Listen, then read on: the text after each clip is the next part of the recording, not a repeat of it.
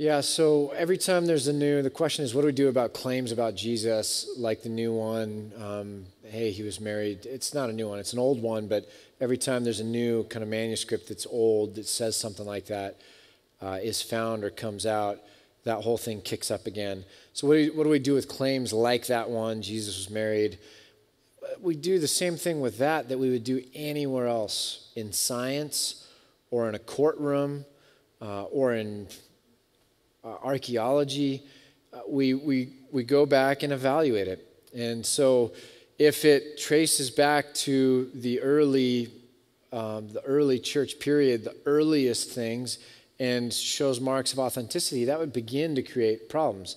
If it's what's called a Gnostic text, which is a couple hundred years after Christ, and, and in a community kind of far removed from the Jewish center of early Christianity, then we look at it and say, um, it's a Gnostic text that reflects Gnostic thinking.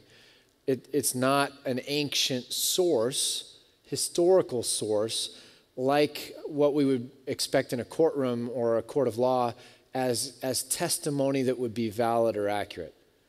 And so, if, if it's not something that we would really engage as having something to say historically um, from oral tradition and everything else, but just Gnostic thinking, um, well, then we should treat it like this. The problem is, is that doesn't sell news stories or, or magazines.